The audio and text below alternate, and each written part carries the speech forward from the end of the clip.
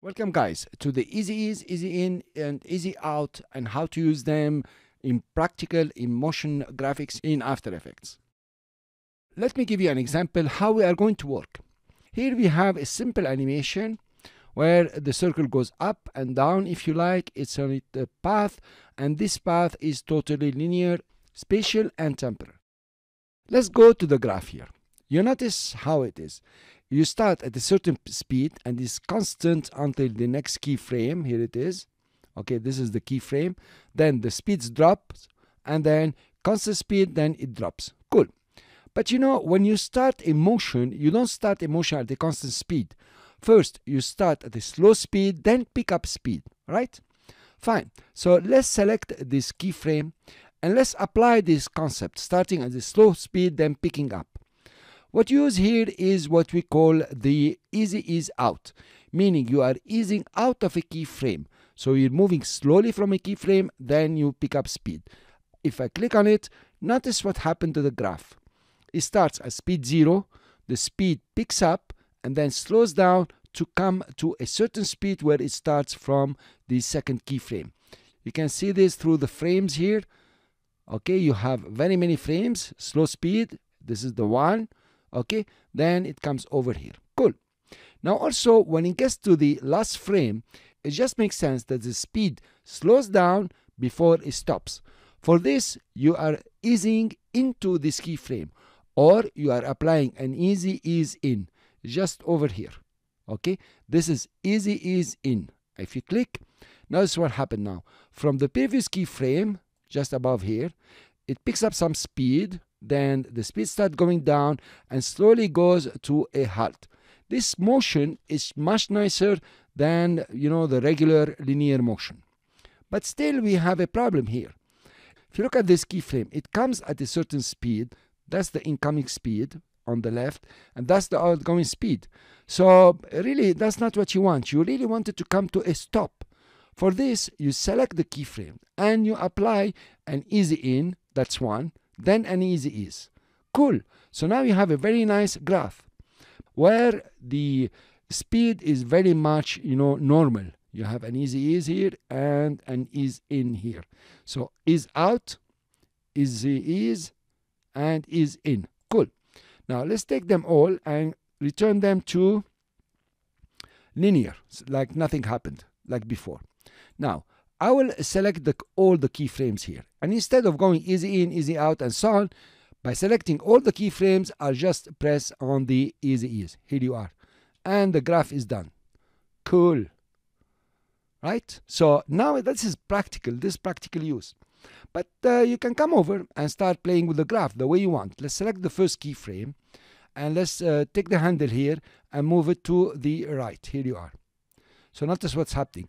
It's going to come at a slow speed, pick up a lot of speed, then die out slowly. Nice, not bad. You can also do it from this side, just like this.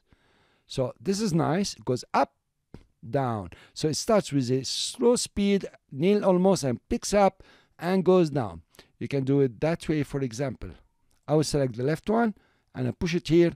Notice now it starts at a high speed and slows down. This is a very nice animation, mainly for text. You can do the same from this side and just go like this. Here you are. Notice the speeds are not equal. So let's adjust this guy over here. Here you are. And it goes down. If you want to reset them very well, let's go back to easy ease. So this is the concept and this is how we work. Now let's put them back to linear, just linear, and go back normally. How do you work from here? Let's select the first keyframe, right click, go to keyframe assistant this time, not keyframe interpolation, and from keyframe assistant, go easy ease out. Okay, you're going out of a keyframe. Here you are. Look at the graph. Okay. Now, if you go to the last keyframe, you right click and you say keyframe assistant, easy ease in. It's shift and 9 and then control shift and 9. Okay, here you are, you applied it. In the middle one, you can now right click and of course instead of going easy in easy out you go easy ease look at the graph now it's very nice it has become a very nice animation and the speed is pretty cool Now, if you notice in the graph, the keyframes are Bezier and not continuous Bezier. If I move it up, you have two speeds, the incoming speed and the outgoing speed. So really, you can make your animation to look the way you would like. For example, here you are stops fast and comes out. Cool, guys. So normally, what we are going to use is very easy.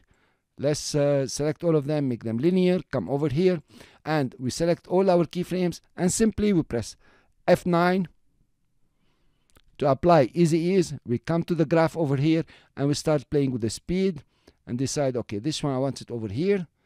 Okay, that's pretty cool. Fine. Now, we have done this for a ball. Let's be practical and do it for some text. Let's do it for a title. Let's take the text tool and type here title here.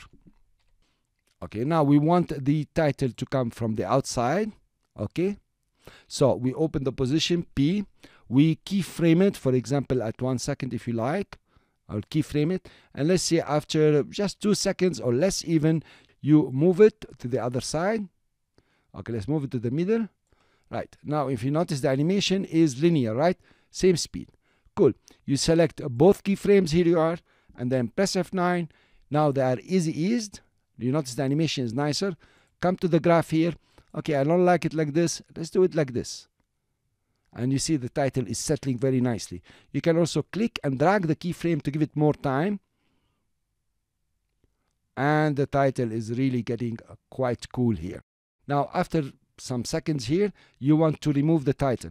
So let's put a keyframe over here and then move a bit and then take the title out the other direction. Okay? It just makes sense that you take both of them.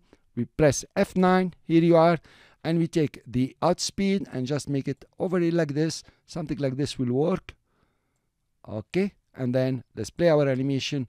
Look what's happening. It setters and it comes out and speeds out. This is very nice. Now usually you will select all of them just like this and press F9 go to the graph look you have it done for you. You come over here you stretch this one for example this way and this one you stretch it this way so you have these kind of speeds. Cool guys. This is pretty nice. We are still in the theory. Later on we are going to take our previous animations and apply easy ease and easy in and easy out. Thank you very much for listening. I will see you in the next lecture